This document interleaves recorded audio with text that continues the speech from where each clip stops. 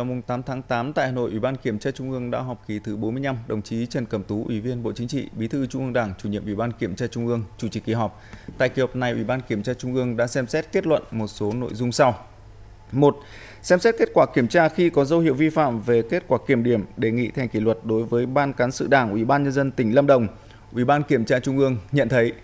Ban Thường vụ tỉnh ủy, Ban cán sự Đảng Ủy ban nhân dân tỉnh Lâm Đồng đã vi phạm nguyên tắc tập trung dân chủ, quy chế làm việc, thiếu trách nhiệm, buông lỏng lãnh đạo chỉ đạo, để Ủy ban nhân dân tỉnh và nhiều tổ chức cá nhân vi phạm nghiêm trọng các quy định của Đảng, pháp luật của nhà nước trong quản lý sử dụng đất, một số gian đầu tư trên địa bàn tỉnh, để nhiều tổ chức đảng, đảng viên bị xử lý kỷ luật, nhiều cán bộ, đảng viên bị xử lý hình sự do có vi phạm, khuyết điểm trong vụ án đưa hối lộ, nhận hối lộ, lợi dụng chức vụ quyền hạn trong khi thành công vụ xảy ra tại dự án khu đô thị Đại Ninh, tỉnh Lâm Đồng và các địa phương, đơn vị có liên quan.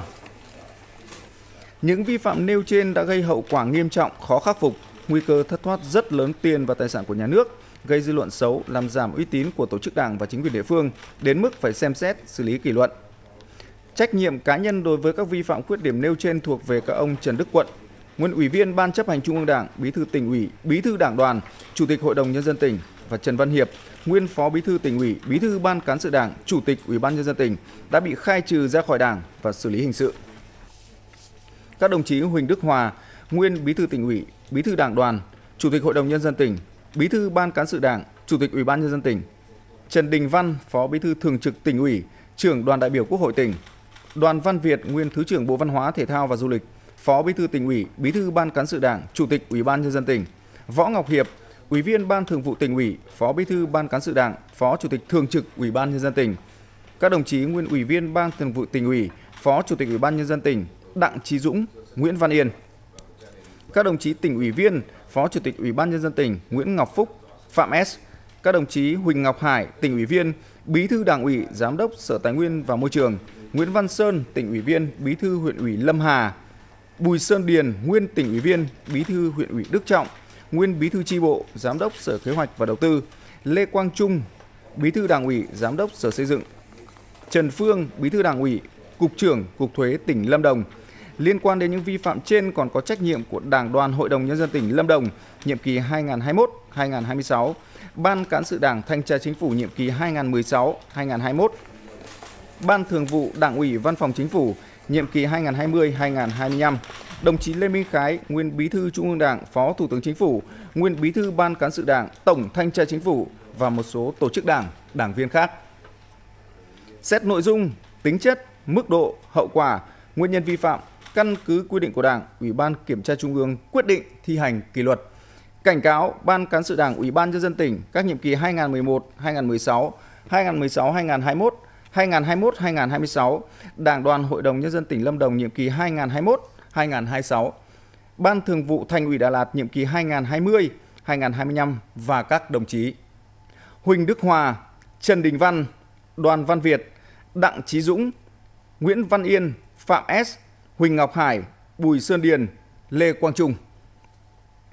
Khiển trách Ban Thường vụ Đảng ủy Văn phòng Chính phủ nhiệm kỳ 2020-2025 và các đồng chí Võ Ngọc Hiệp, Nguyễn Ngọc Phúc, Nguyễn Văn Sơn, Trần Phương, Ủy ban Kiểm tra Trung ương đề nghị cấp có thẩm quyền xem xét thi hành kỷ luật Ban Thường vụ tỉnh ủy Lâm Đồng các nhiệm kỳ 2015, 2020, 2020, 2025, Ban Cán sự Đảng Thanh tra Chính phủ nhiệm kỳ 2016, 2021 và đồng chí Lê Minh Khái. Ủy ban Kiểm tra Trung ương yêu cầu Ban Thường vụ tỉnh ủy, Ban Cán sự Đảng Ủy ban nhân dân tỉnh Lâm Đồng lãnh đạo, chỉ đạo khắc phục kịp thời các vi phạm khuyết điểm được chỉ ra, thi hành kỷ luật các tổ chức đảng và đảng viên theo kết luận của Ủy ban Kiểm tra Trung ương. Ủy ban Kiểm tra Trung ương tiếp tục kiểm tra, xem xét, xử lý các tổ chức, cá nhân có vi phạm theo thẩm quyền. 2. Xem xét báo cáo đề nghị thi hành kỷ luật một số đảng viên vi phạm tại các đảng bộ, Bộ Tài nguyên và Môi trường, Lạng Sơn, Yên Bái, Phú Thọ, Bắc Ninh, Bình Thuận, Cà Mau, Ủy ban Kiểm tra Trung ương nhận thấy các đồng chí Nguyễn Linh Ngọc, nguyên Ủy viên Ban Cán sự Đảng, Thứ trưởng Bộ Tài nguyên và Môi trường, Hồ Đại Dũng, Ủy viên Ban Thường vụ tỉnh ủy, nguyên Phó Chủ tịch Ủy ban nhân dân tỉnh Phú Thọ. Thái Hồng Công, Ủy viên Ban Thường vụ tỉnh ủy, nguyên Giám đốc Công an tỉnh Lạng Sơn. Hồ Đức Hợp, tỉnh ủy viên, Giám đốc Sở Tài nguyên và Môi trường tỉnh Yên Bái. Nguyễn Kim Thoại, tỉnh ủy viên, Giám đốc Sở Tài chính tỉnh Bắc Ninh.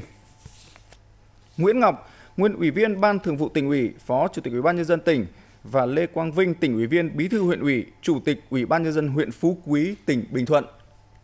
Nguyễn Quốc Định, nguyên tỉnh ủy viên, bí thư đảng ủy, giám đốc Sở Xây dựng tỉnh Cà Mau đã suy thoái về tư tưởng chính trị, đạo đức lối sống, vi phạm quy định của Đảng, pháp luật của nhà nước trong thực hiện chức trách, nhiệm vụ được giao, vi phạm quy định những điều đảng viên không được làm và trách nhiệm nêu gương, gây hậu quả rất nghiêm trọng, dư luận bức xúc, ảnh hưởng rất xấu đến uy tín của tổ chức Đảng, cơ quan, địa phương, đơn vị công tác đến mức phải xem xét, xử lý kỷ luật.